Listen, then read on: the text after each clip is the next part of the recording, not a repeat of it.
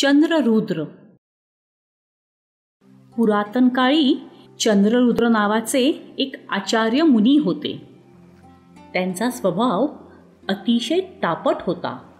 त्यांच्या शिष्यांना त्यांच्याबद्दल भीतीयुक्त असा आदर होता.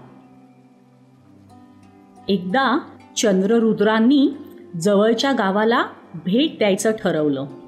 त्यांनी एका शिष्याला सोबत घेतलं. ती दोघं बराच वेळ जंगलमार्गे प्रवास करत होती. काळोख झाला होता. थकलेल्या चंद्ररुद्रांनी आपल्या शिष्याला सांगितलं मला तुझ्या खांद्यावर बसव. शिष्यानी गुरूंना खांद्यावर बसवून प्रवास सुरू ठेवला.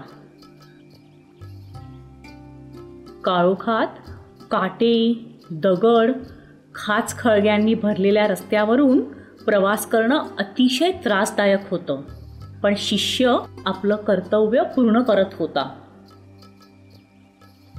रस्ता नीट दिसत नसल्यामुळे शिष्य खाच खळग्यात धडपडत होता. त्याच्या धडपडण्याचा हिसका खांद्यावर बसलेल्या गुरुजींना बसत होता. उतार वयात गुरुजींना त्या हिसक्यांचा त्रास सहन होत नव्हता. ते रागाने शिष्यावर खेकासत होते. शिष्याचे पाय रक्तबंबाळ झाले होते. तरीही तो चालतच होता.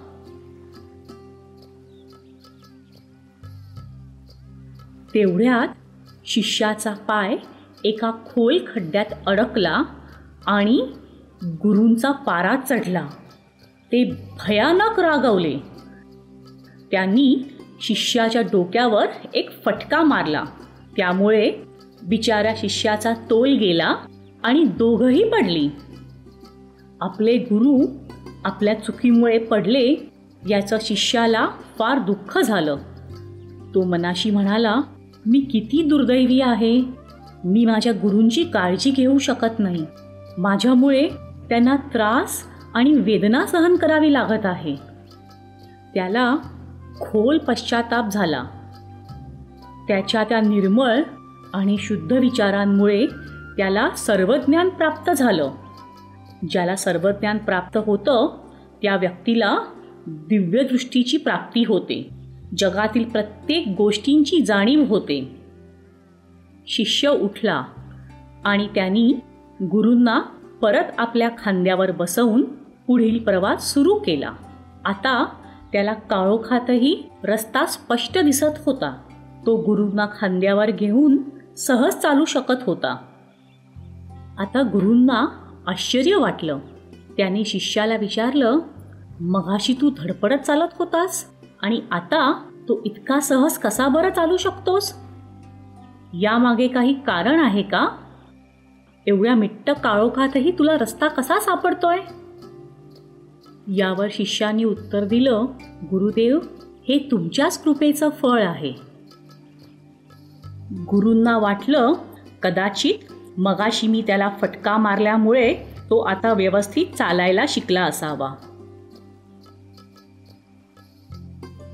तेवढ्यात शिष्य म्हणाला गुरुदेव तुमच्या कृपेमुळे मला सर्व ज्ञान प्राप्त झालं आहे.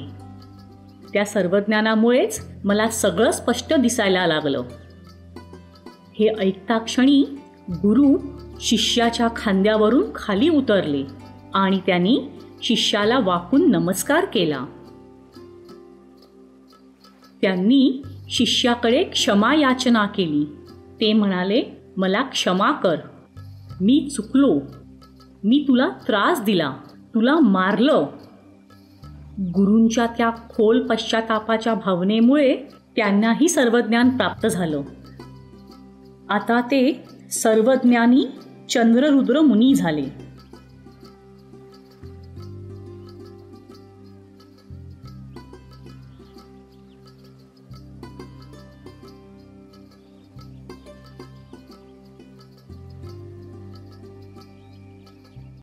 The story of Chandrarudra.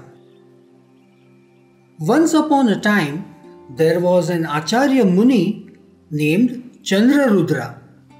He was of a very hot temperament. He had a disciple who was very respectful and obedient. One day, Chandrarudra decided to visit a nearby village. He asked his disciple to accompany him. After traveling through the forest for a long time, it became dark. Since Chandrarudra was very tired, he asked his disciple to carry him on his shoulders. The disciple carried his guru on his back and they continued their journey. It was very difficult to walk in the darkness on a path filled with thorns, stones, and mounds. But the disciple continued to do his duty.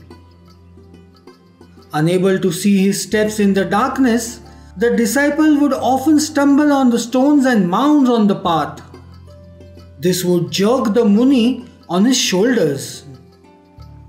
The aged Muni was unable to bear the constant jerks. He got furious and yelled at his disciple. The disciple's legs were badly scratched and oozing with blood, but he continued walking. Just then, his foot got stuck in a deep pit and the Muni lost his temper entirely. Such a mistake on the part of the disciple made the Muni very, very angry. He hit the disciple forcefully on his head. This made the disciple lose his balance and both of them fell on the ground. The disciple became very sad. He blamed himself for the troubles his guru had to face. He said to himself, I am very unfortunate that I can't take care of my guru. He has to bear so much trouble and pain because of me. As a result of his deep repentance, the flow of the disciple's thoughts turned pure and he instantly attained Keval Nyan. Those who have attained Keval Nyan can envision and have knowledge of the whole universe. He got up again, put his guru on his back, and started walking. Although it was dark, he could now see the path clearly. He walked without any problems in such a way that his guru had no discomfort. The Muni was confused to see this. He asked his disciple, Earlier you were not able to walk properly.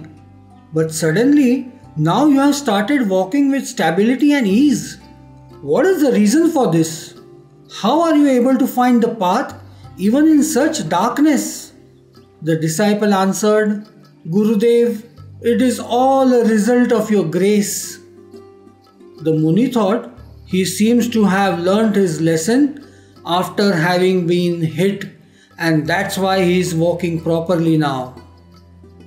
Just then, the disciple very modestly said, Gurudev, due to your grace, I have attained Keval Nyan.